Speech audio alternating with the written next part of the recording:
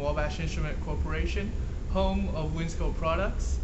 Today we'd like to introduce a new accessory for your Van de Graaff generator. For now, we like to call it the electrostatic bobblehead. It's a hollow metal ball mounted on top of a slender plastic rod which insulates the metal ball from the base. And now let's take out our Van de Graaff generator and have some fun. This is a Van de Graaff generator and this is a discharge electrode with a wire grounded to the Van de Graaff generator.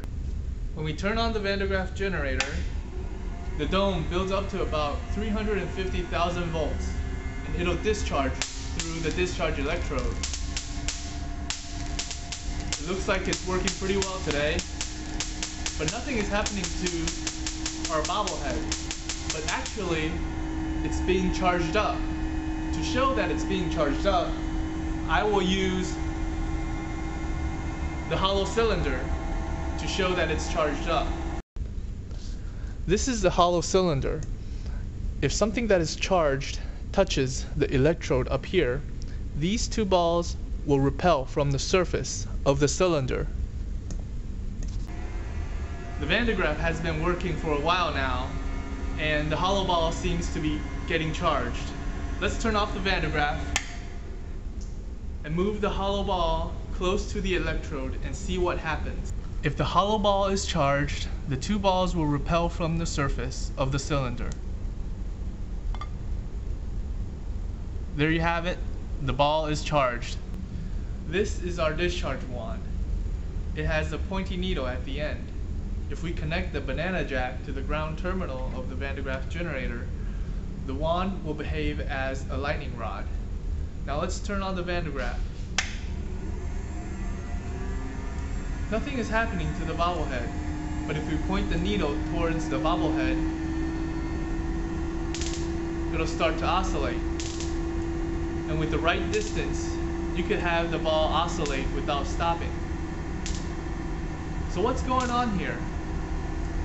With the strong field of the Van de Graaff generator, it will cause the electrons on the near side of the ball to be repelled to the far side of the ball. When you introduce a lightning rod to drain off the electrons from the far end, the ball will be slowly attracted due to induction, and when it gets close enough, you will get a spark. Now the ball is fully loaded with electrons, and the Van de Graaff is a pool of electrons.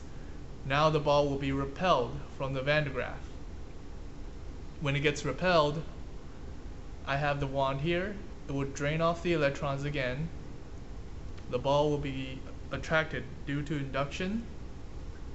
You'll get a spark, repel, drain, attracted by induction, spark, repel. So this is how it works. I hope you like this demonstration of our bobblehead and the effects of attraction by induction. For more fun at the lab, visit www.winsco.com.